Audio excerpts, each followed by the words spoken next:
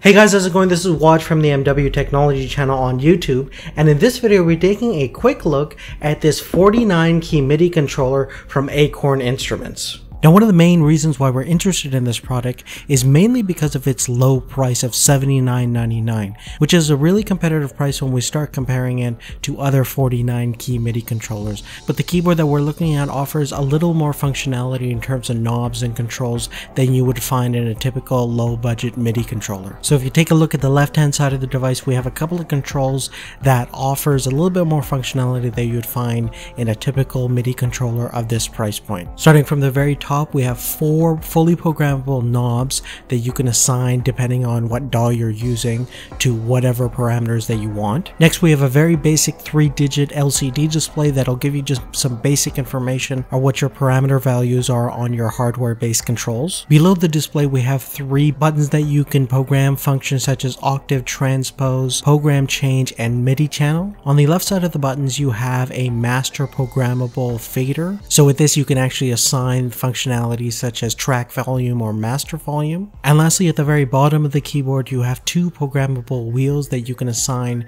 different functionalities by default, their pitch and modulation. And of course, just like most standard pitch wheels, it actually will automatically go back to its zero position. And of course, like most things, the modulation wheel on this keyboard will stay at any position you want.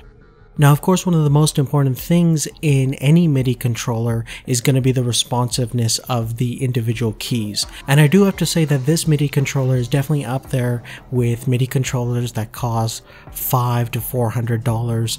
Uh, anything higher probably will have a little bit better and more durable key response feedbacks. But overall, it's very good. It still gives you that nice tactile feedback that you would have with any decent keyboard, and it's still velocity sensitive and has most of the standard features that you would expect off of most MIDI keyboard controllers. Now of course it's important to realize this is about $20 cheaper than most of your cheapest controllers that you would find from M-Audio and Behringer, but really it just adds some more basic controls that you would typically find on more higher end MIDI controllers. But the biggest issue I have with this keyboard deals with the driver support. Unfortunately, there are no drivers whatsoever available for this keyboard.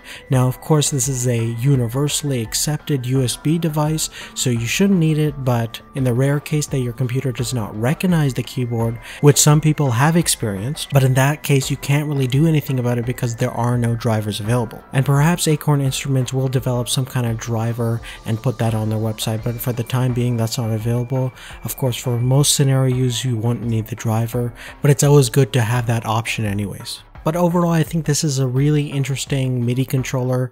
I think it's probably one of the better ones if you're on a super tight budget and you can't spend over a hundred dollars. I think this is definitely better than some of the M Audio and Behringer solutions that are around the hundred dollar price.